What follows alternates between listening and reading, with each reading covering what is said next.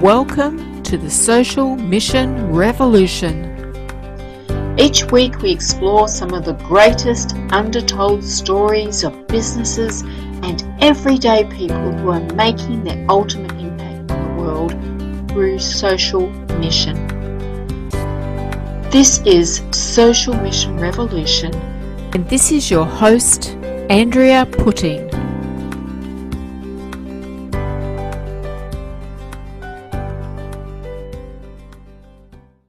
Welcome to another episode of the Social Mission Revolution. And I'm here today with Helena McDonald. And Helena has a very interesting social mission that she's on. And I'd like to introduce her to you and have her just tell us a little bit about what she does that got her into her social mission, maybe to start with. Well, it has been a journey of passion and I have always been a person that wanted to help people. It's taken me a while to work out how to actually position myself, but I've ended up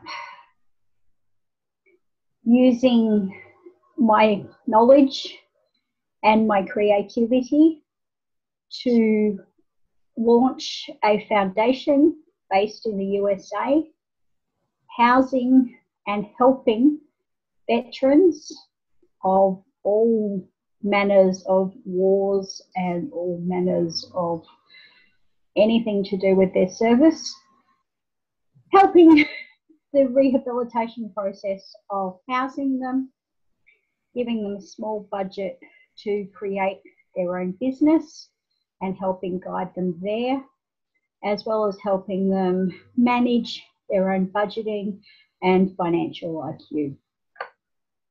That about sums it up. That sums it up. And you're also doing a little bit of property development over in the US as well, aren't you?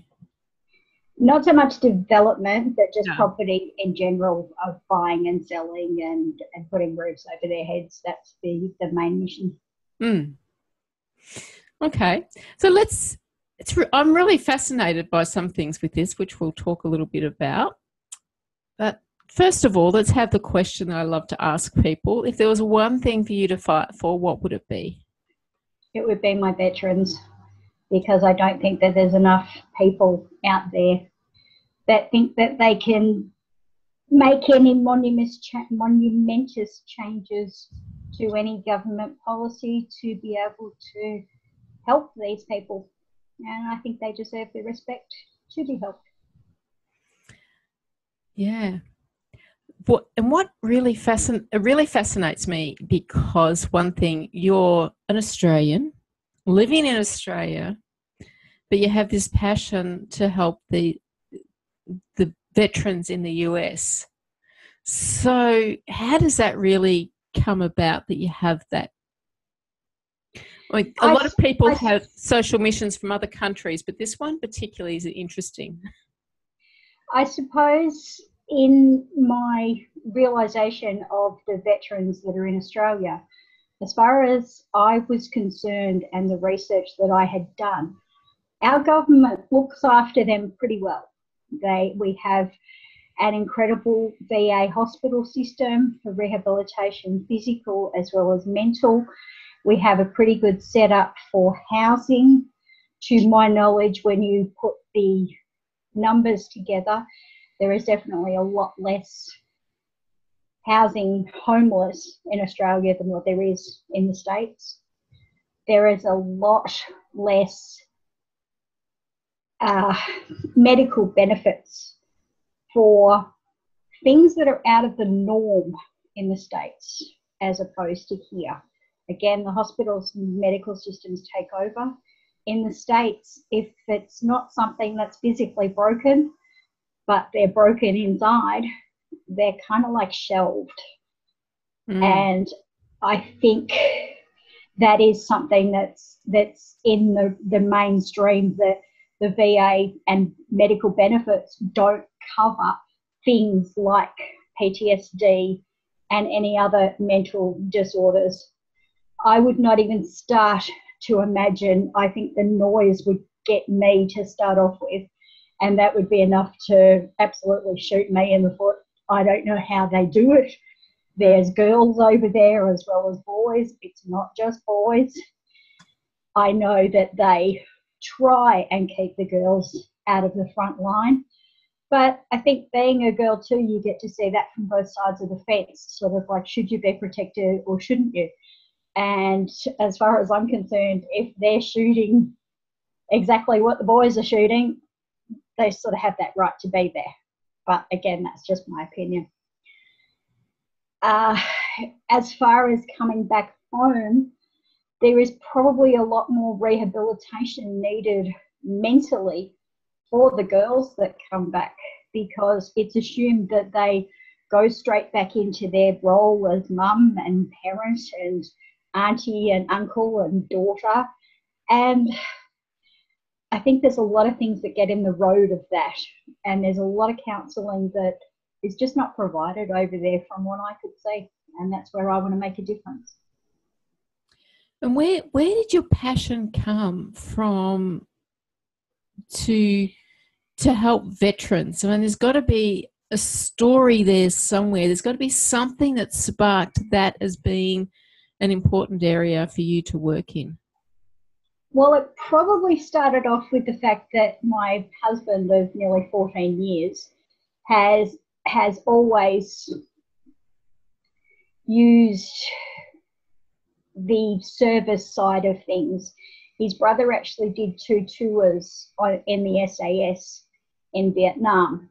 And then when he came back, he did a lot of training because they found out that he had an incredible skill that was a skill set that apparently was needed to be um, trained upon. We also have a lot to do with Phillip Island. So going down to the Veterans Museum was something that I just got absolutely blown away with. Seeing some of the things and some of the conditions that these guys were, were fighting in and day in, day out uh, I was absolutely stunned at the foxholes that were in the Vietnam War, especially. So, the Vietnam War is really all I can kind of talk on.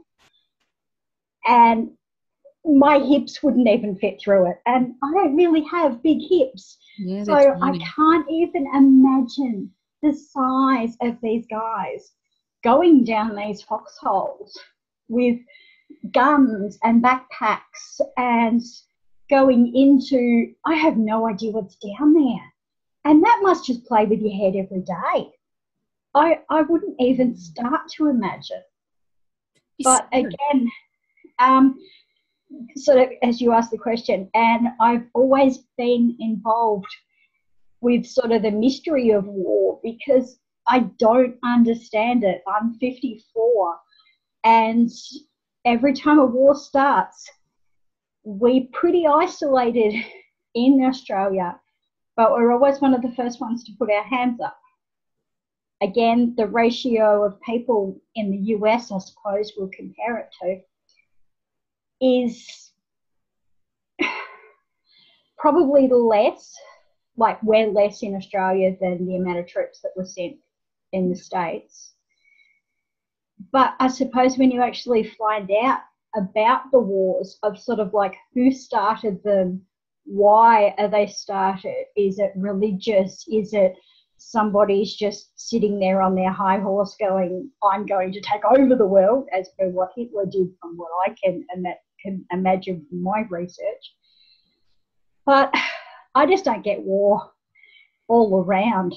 So no. I suppose I'm probably a peaceful person and the fact that if I can help put their world back to where it was before they left, that's a job well done. Yeah, because there really is that it breaks people completely, doesn't it? With with going to war, I am very much a pacifist. I've always been a pacifist, but it doesn't mean I don't support those people who who have been through I can, I can only think of terrorized as being the being the result and i know that that when the rate of suicides of return service people is really high because they it is so hard for them to put their lives back together. And they have to sort of admit to themselves that to get them into that mindset to start off with, they really are brainwashed into you will do things this way, this way, this way. The the food will be on the plate at X time, three times a day. You will be on parade at X time. So the total brainwashing back, the reversal is so hard to accept when you've been in that discipline, and especially when you're talking about guys that have been, and I say guys, men and guys and girls, mm-hmm, yeah. don't take that personally. Um, the guys that have been in there for 20 or 30 years that have gone in straight from, I think they're allowed to enlist in at 17, but they're not allowed to do anything active until they're 18. So basically, some of these kids are enlisting at 18. They've not had any real life experiences. Some of them haven't even had girlfriends. They've still been living at home. So the exposure to what they're seeing as a real world, they would not know any different. And hence the fact that these people are, are probably enlisted and stay in the services because they're so scared to come out to the real world. They don't know what it is. And that's that's another fragment as well. Yeah. Yeah, it must be really difficult for them when they've had that kind of that's been their whole world to then find a way of living else otherwise. And many of them have to because they're no longer fit for service. And you've also got to remember the impact of the buddy system.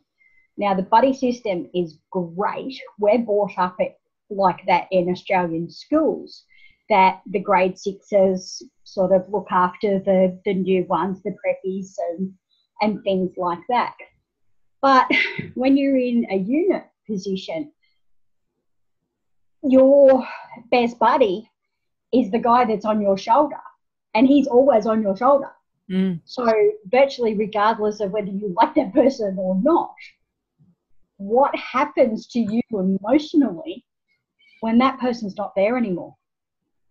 Yeah. You've, you've had no exposure to death, or if you have had, it's been a relative before, and it's probably been a grandma or a grandpa or a great uncle, or maybe there's been a death in the family by an accident or something like that. But it's it's not been by somebody that's been by your side 24 7 yeah whose role it is to keep keep you safe and your role is to keep them safe and you haven't done you haven't fulfilled that keeping them safe would be on the back of their mind as well. Mm. Yeah. Can you imagine living with that every day? I couldn't. No, no, it's a it's a tough one, and I think that they really do. It's a really hard thing for them to come home to and to have to deal with life. Yeah. That's why part of my wish of putting 2,000 veterans in apartment buildings and I think everybody understands in the world of apartment buildings. So, regardless of where this goes, what I aim to do is they can have the choice of having a one bedroom or a two bedroom. They can buddy up if they want. They can be by themselves if they want. But there will always be a place that is a communal area. So I'm tr- I'm doing this with the vision that they have the choice of being by themselves or the choice of being communal. So if these guys are quite social when they get out, a lot of the times when you end up and they are in a homeless position or they are in a situation that's just really not great, um, they've got the support there of others. Even if they're not other vets, they're still other people and the heartbeats count. They yeah. don't matter if it's if it is military or if it's just the cleaner, just somebody to talk to. Yeah, and knowing Uh, that they're surrounded by people who are going to be on the watch for them. Yeah. As well, give them that sense of belonging again.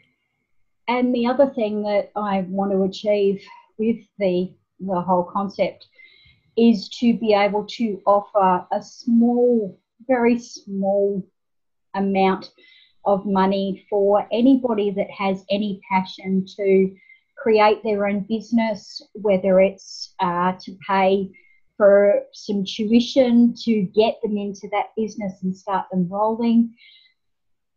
Small business loans and small business, you have to go through so many hoops. And I just don't agree with those hoops. Um, people should be given a chance, especially in the position that they've been in. And yeah, they've put their lives on the line. I think they should be cut just a little bit of slack.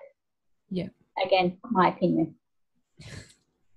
And and it's fair enough. They have too many people. They they they've gone believing that they're they're doing this for their country, and they come home and the country does nothing in return for them, or not enough. So, how are you going about this foundation? How are you ha- making this happen? That I can't actually keep you on the same page, but if you would like to revisit me in three months' time, I'll have some more answers for you. No, I do have a few plans. I have a goal of 2,000 doors in apartment buildings, so that's basically 2,000 units. Yeah. And I also have a goal of 500 single families. Now, another fallout of the wars is so many families get separated, whether it's through their own fault or it's through family's fault or they've had to move away for treatment or whatever the case may be.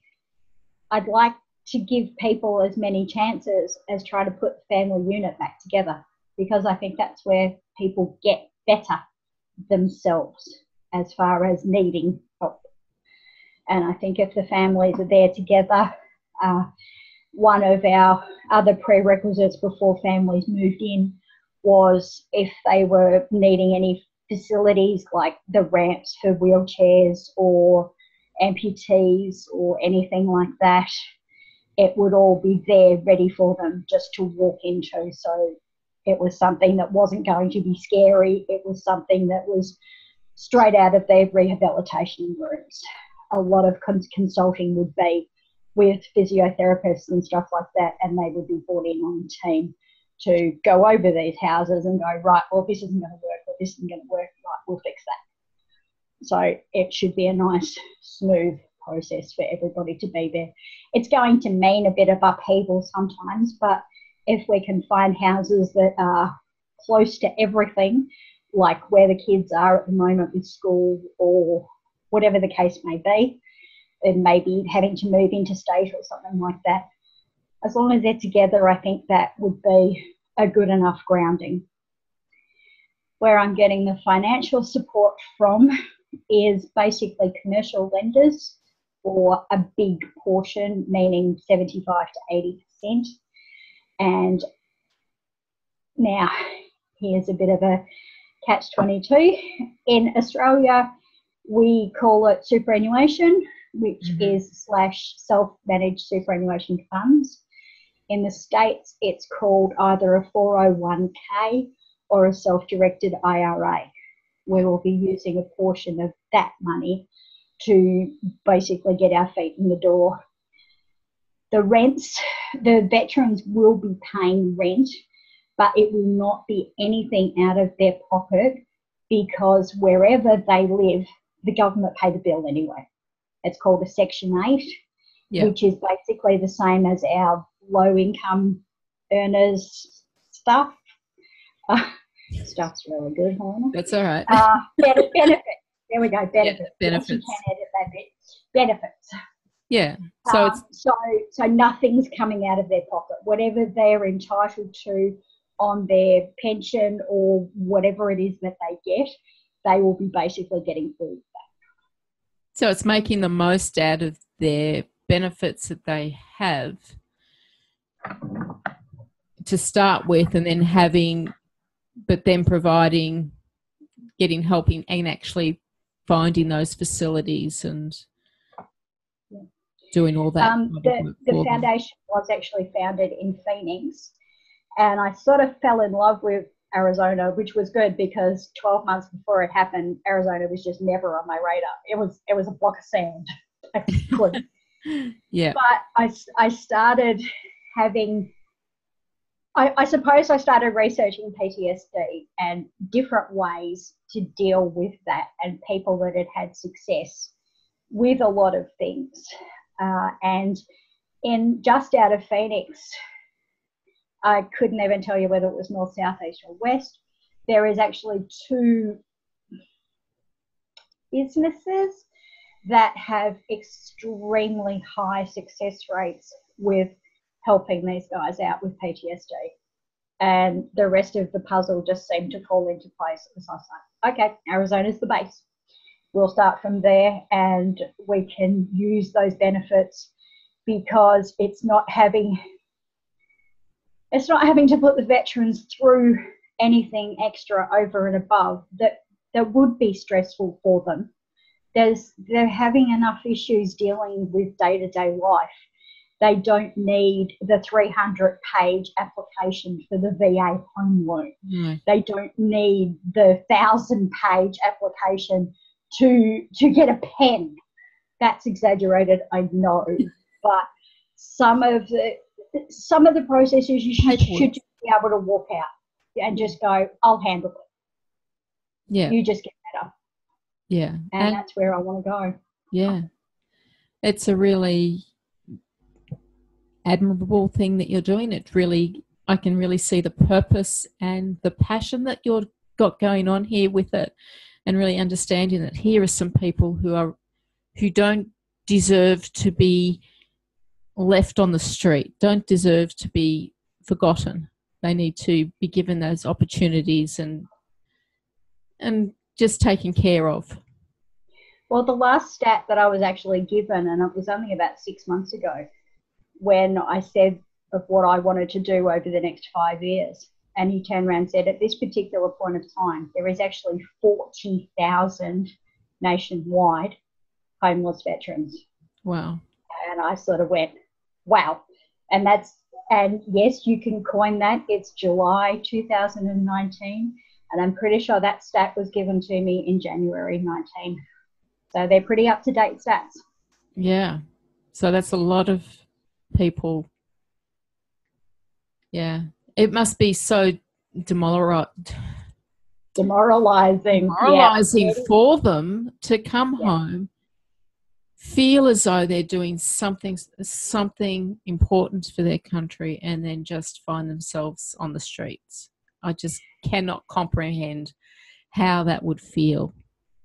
And the other thing that you also have to look at is the relationships that were already put into concrete before people went away. Now if these guys are living in little country towns and little country towns uh, 20,000 people where the kids have grown up, they've gone through, they've played football, they've done this, they've done that. Uh, they may have had a girlfriend, don't know. But all of a sudden, their friends haven't gone and they've gone. And that is a really hard change to accept. And that's why I think a lot of people can't handle going back into an environment because they've changed and they don't see that anybody else has. And again, messing with your head real bad. Yeah. Yeah. It would yeah, I just can't comprehend how that would be how that would feel to people. Yes. So well, I do thank you for your time, Andrea, and I do thank you for your compliment on my passion because when I do start talking about it, it does definitely fire me up. Uh, the board of directors that I've actually picked with me, I have three left, and they are all actually veterans, or one is actually a does she call herself? Uh, well, an army, an army brat is what her three children are. Yep. She's an army wife, and he's due out next May, which is May 2020, and he literally has 20 years service. So they have moved around. Uh, they've actually bought a house this time. Other than that, they've been renting their Yeah. whole lives because they keep moving. He's he's pretty high up the food chain now, but he knows that that things are going to change big time when he doesn't have to get up at 6 a.m., go for the run, go for the 20 minute drive. So there's sort of headspaces everywhere that need help from from the very beginning to the very end. And they're all in danger when it comes to, to any form of support. And as I said, even getting them out of any financial difficulties that they may have had. Uh, unfortunately, there's a lot of people out there that still prey on the people that are in the service because they know that they're there for the next three years and oh yes you can go buy a car and hire purchase this and and sort of all of a sudden your very small pay packet of like $1400 a month which i think is the bottom line basically. I mean you don't really need much when you've got three meals coming to you and accommodation paid for.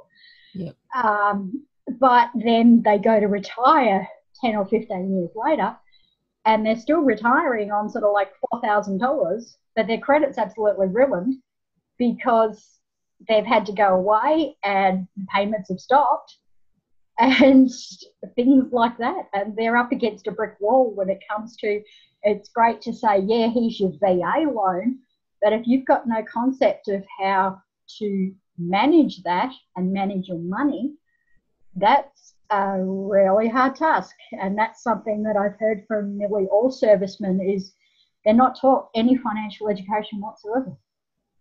Yeah, they're, they're not taught life skills for Mm. the normal Life skills, that- exactly. that we live in. Yep. So they come back to a completely foreign world. Mm.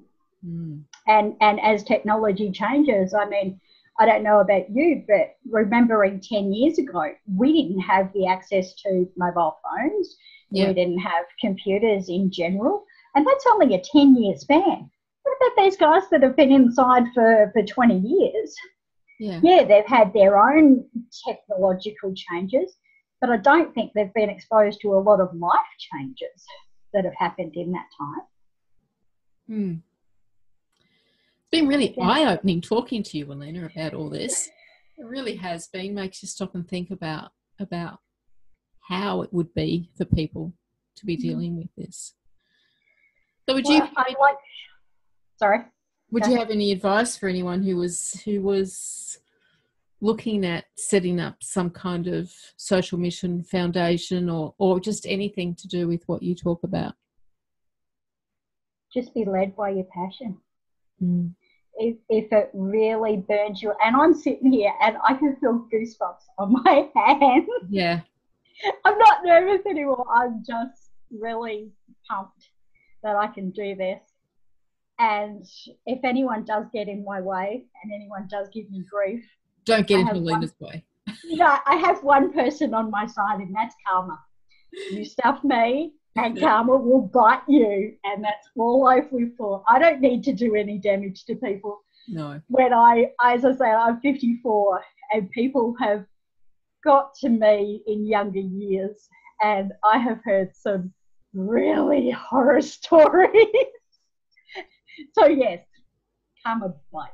I fully believe it. So, is there anything else you'd like to add before we close off? Other than just to say thank you again for inviting me on. Um, thank you for your appreciation and the fact that you did learn some stuff. And I just can't wait to get over there and start knocking on some doors. Okay. And I'll put a link to your foundation so people can find out more about that and how they can, if they want to help or want to be involved in something like that, they can have a chat with you and find out more information. That's not a problem. I will give that to you in Messenger. Great.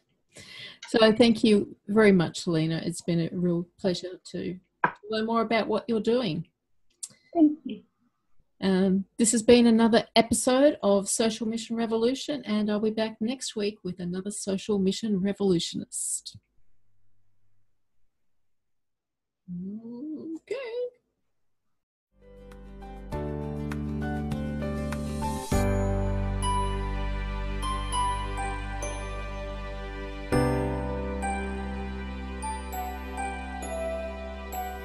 This has been the Social Mission Revolution with Andrea Putting. Join me again next week when we'll speak to another social mission revolutionist who will inspire you on your journey to making your ultimate impact on the world.